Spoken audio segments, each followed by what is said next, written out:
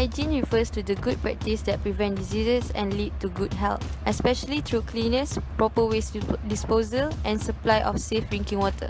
It refers to all those activities that are done for improving and preserving maintaining sound health. We must learn proper hygiene practice to preserve our health. Too much work or exercise, eating or drinking are dangerous to health. A regulated life is very helpful to a sound health. Above all, the mind too must be kept clean and pure. Hence, we have done a survey on hygiene and sanitation in Kampung Tebat Kering to see how much they are care about cleanliness of the area.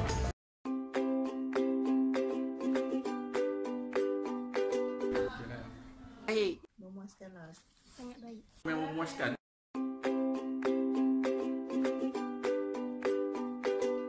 Bahan domestik lah yang kita masak. Bahan domestik. najis haiwan lah biasanya yang domestik semua tu semua plastik apa semua tu kan Maksudnya plastik lah. Kalau najis biasa nak kucing.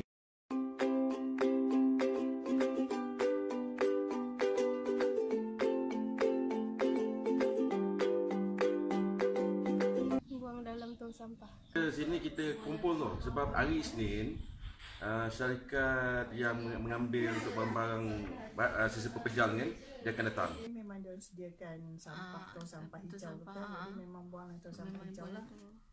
Unless kalau macam dah daun kering tu. Ah, daun dia sini ada apa dengan apa kan diangkut dengan apa kan ada apa lah, sisa-sisa tu maknanya dah clear lah dia bi- si- sisa buangan kadang-kadang kita masuk dalam tong lah. Sama lori ambil tiap-tiap ada lah hari dia kan. Ah, ah, tapi sampah-sampah macam daun-daun ni bakar. bakar lah. Satu tempat lah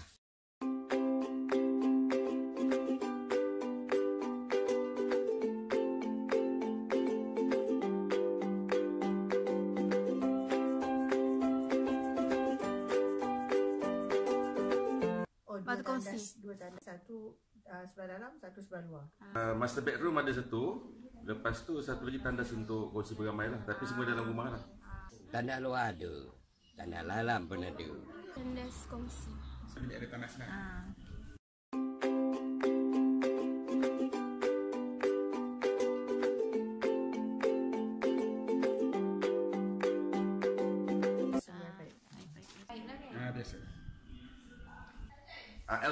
Baca ke pernah pasal Elkin. Ah, ni bukan iklan Elkin tau. ah. kita guna lepas, lepas tu kita tapis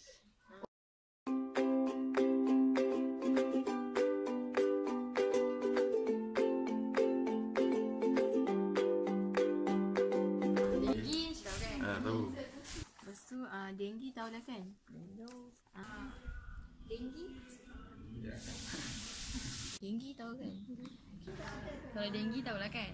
Denggi tu nom, Kira jatuh nombor dua Dulu Sekarang dah kira nombor satu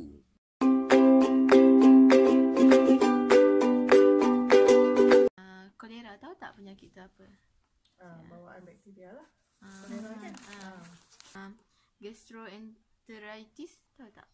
Nak tahu tak? Ah, dia sebenarnya penyakit yang Muntah-muntah. ah, Berkaitan perut juga kan? Ah. Hmm. Diarrhea tau. Diarrhea, mencari berak.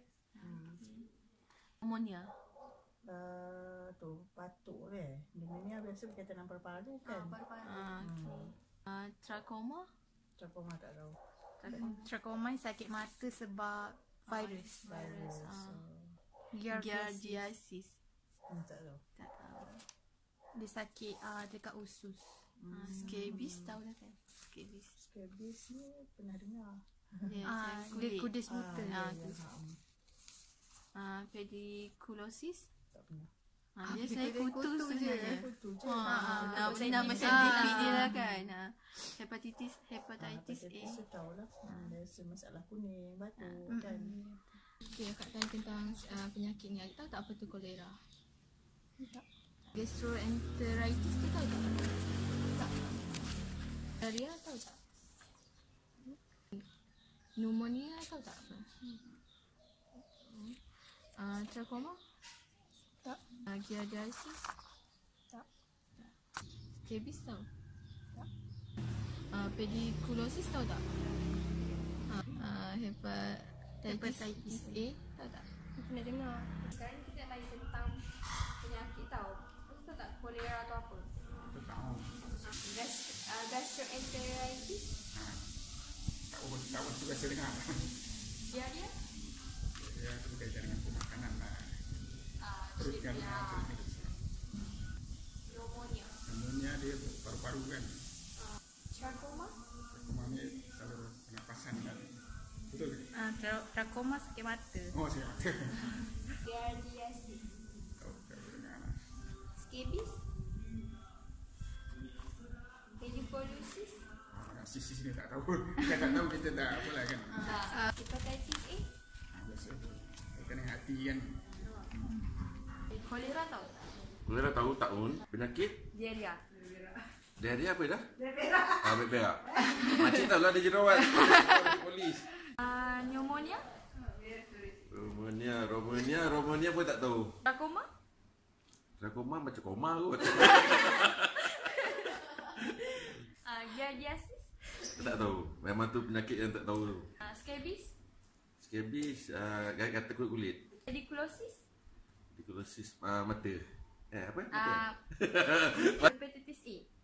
Terus A, penyakit kuning kan? Eh, dia kuning kan? Gastroenteritis tu. Itu kira bab apa tu? Macam muntah-muntah, kulit kering, dahaga. Ha, macam tu lah. Diarrhea tahu diarrhea. Tak tahu, tak tahu. Actually ni uh, apa cirit birit. Cirit birit.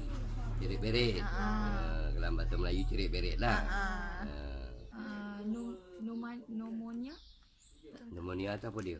Kalau dalam bahasa Melayunya. paru-paru berair. Oh, Uh, trachoma. Kuma tu. Trachoma tu sakit mata. Atau tahu tak apa tu giardiasis. Ha, bahasa orang putih memang macam tak ada. Khabar sebut bahasa Melayu je lah. Dia uh, jangkitan dekat saluran pencernaan. Uh, scabies tahu tak apa tu scabies? Itulah bahasa orang putih lah tu. Memang tak tahu. scabies ni uh, kudis buta. Pediculosis tak tahu juga.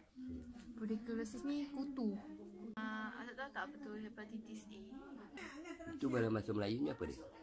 Dia tu dia lebih Sejenis sebabkan ah dia sejenis penyakit yang dia serang hati.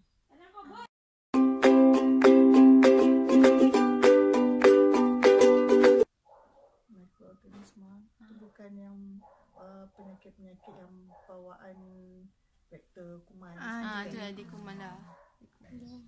Khas daripada apa? Daripada najis kan dia ada apa yang ah, bakteria tu.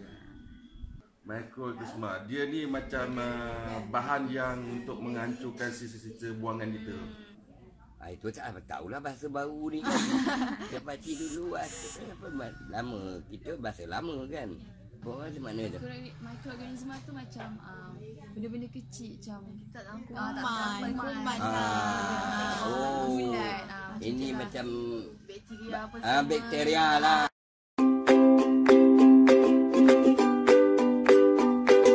Memang. Memang kan penyakit? Itu penyakit paling besar. Tak tahu. Biasa tak tahu. Uh, memang tahulah.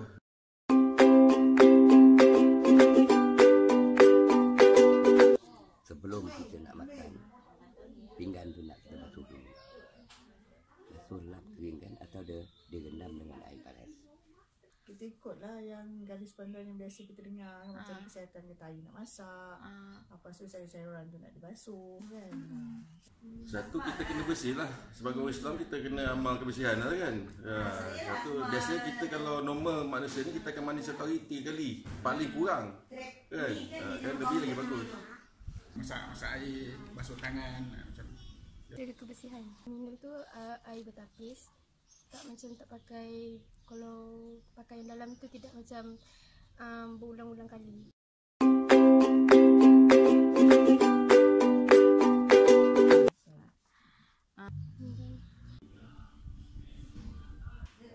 uh, Saya tak pasti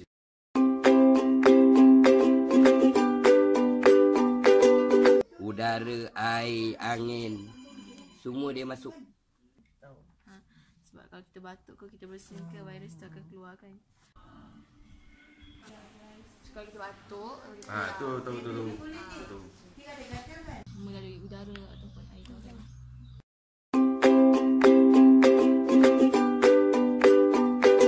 kalau sebelum sentuh makanan tu si basuh tangan kan? Ya. Itu selalulah. Kadang-kadang tak juga. Cuci tangan tu guna sabun tak? Guna. Ah. Tapi normal, normally kan kalau dekat luar kita akan cuci sabun kat kedai. Tapi kat rumah biasanya selepas makan baru kita cuci pakai sabun. Ah. betul tak? Jangan nak bohong lah. Lepas masuk tandas tu cuci tangan tak? ah memang lah. Luar tu kan pakai slipper tak? Okay. Uh, kalau sebelum uh, pegang makanan tu bersihkan tangan tak? Hmm. Kalau cuci tangan pakai sabun lah. Uh, kalau lepas pergi tandas tu cuci tangan tak? Cuci. Mesti mandi hari-hari kan? Mm. Cuci tukar baju selalu. Hmm. Lepas tu kalau nak keluar rumah masuk kat depan macam ni, pakai slipper lah. Okay. Uh, brush gigi lah selalu. Sepotong kuku jarang-jarang ke? Ke macam mana? Macam dua kali dua kali seminggu. Hmm. Um, minum air yang dah dah masak ke macam mana? Ha-ha. Biasa kalau adik buat kerja penat-penat kan, adik terus mandi ke atau rehat dulu lepas sebelum mandi? Terus mandi. Adik selalu bersihkan tangan tak sebelum pegang makanan? Men, Lepas tu, uh, guna sabun tak kalau nak cuci tangan? memang guna sabun lah. Basuh gitu tak boleh jadi dia. Kalau lepas keluar tandas, memang Memang, sa- basuh dulu. kan? Lepas tu baju pun uh, sa- sentiasa baju bersih kan? Ah, tu kalau tu sebab tu berjalan kalau tu tak bawa baju tu takkan mandi. Punya style mandi baju semua buang. Bagi baru. Jadi tiga kali sehari tetap. Kalau keluar rumah, uh, walaupun nak pergi tempat letak kereta ke apa, Pak, uh, Atuk selalu pakai slipper ke tak? Memanglah. Tu itu memang nak punya tu lah mana boleh jalan kaki pakai kaki ayam. Uh, memberus gigi dua kali sehari tu jangan, uh, kadang-kadang ke sentiasa ke? Ha, gigi tak ada. gigi tak ada, masa ada gigi main. Ah ha, memanglah kan. Lepas tu uh, potong kuku tu macam mana? Selalu Potong ke kuku tu mana? dia ikut masa lah kita. Kita tengok kalau ada lain macam je kita potong lah. Lepas tu uh, Atuk selalu minum air yang dah dimasak lah kan? Air yang dah masak, air yang ditapis. Lepas tu kalau dah kalau dah buat kerja-kerja tu biasanya Atuk terus mandi ke Tak. rehat dulu? Rehat dalam masa setengah jam. Biasanya selepas menyentuh uh, sebelum menyentuh makanan tu uh, basuh tangan tak? Basuh. kan. Lepas tu uh, lepas buat kerja apa semua uh, cuci tangan tak? Dengan, dengan sabun lah kan? Sabun lah. Okay. Selepas uh, guna tandas tu uh, cuci tangan tak? Nak cuci. Kalau keluar dekat garaj ke apa-apa pakai slipper tak? Pakai. Lepas tu uh, sentiasa uh, lepas tu sentiasa minum air yang dah dimasak lah kan? Ada masak. Lepas tu biasa kalau dah buat kerja pen- uh, penat-penat uh, makcik akan rehat dulu ataupun terus mandi. Biasanya hmm, panas kan mandi dah dulu. Ha. baru nak rehat-rehat baru selesa. Bersihkan tangan tak sebelum sentuh makanan? Uh, pasti guna sabun tak? Ya, sabun biasalah mencuci kan. Cuci tangan tak lepas gunakan tandas? Ah, biasa. Kalau pakcik keluar dekat uh, garaj ni pakai slipper tak? Ha, dalam rumah aku pakai slipper. Sensitif dengan simen. Potong kuku selalu selalu ke? Selalu tu. Biasalah minum air yang telah dimasak dan ditapis.